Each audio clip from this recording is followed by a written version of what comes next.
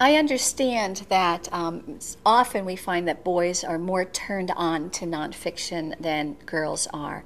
And I, I think about that sometimes. I think the books that I write um, are especially interesting to boys. Um, I can't help it. I'm, I'm drawn to the dark side. I'm drawn to the dark stories, and, and I love looking for those dark stories because you know, you know there's I just want to figure them out. I want to understand why. I want to make meaning out of them. Um, I find that I get um, a lot of letters and emails, especially from boys who are um, who really enjoy um, reading about um, whether it's um, you know stories like the Third Reich when they want to try to figure out. Hitler and what would cause a man to do such a thing, or they like to put themselves in, in the roles of the of the young um, people in, in the books. Um, they enjoy the photographs, I mean, because that makes very active reading.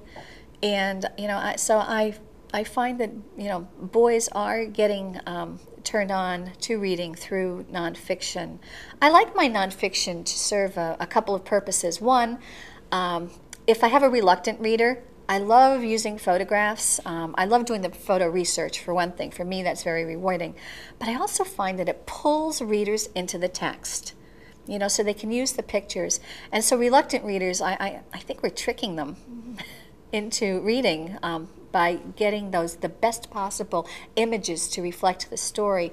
And so I think the images are doing double duty. I think for one, uh, they are pulling readers into the text and they are illustrating the text but for um, some people like to read a story through images. And so they can also read the story of the Hitler Youth by reading the images as they page through the book. Before I was a children's book author, I was an eighth grade English teacher and I taught eighth grade for 18 years.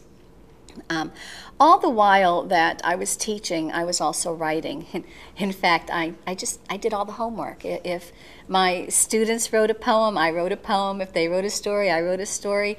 Uh, they would bring their work into class, and we'd share and um, talk about ways they could make their writing better. Sometimes I'd bring my work into class and share, and they'd tell me how to make my work better.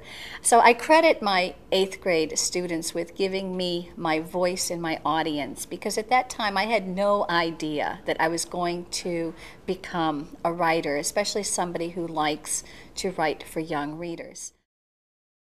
Funding for adlit.org is provided by the Ann B. and Thomas L. Friedman Family Foundation.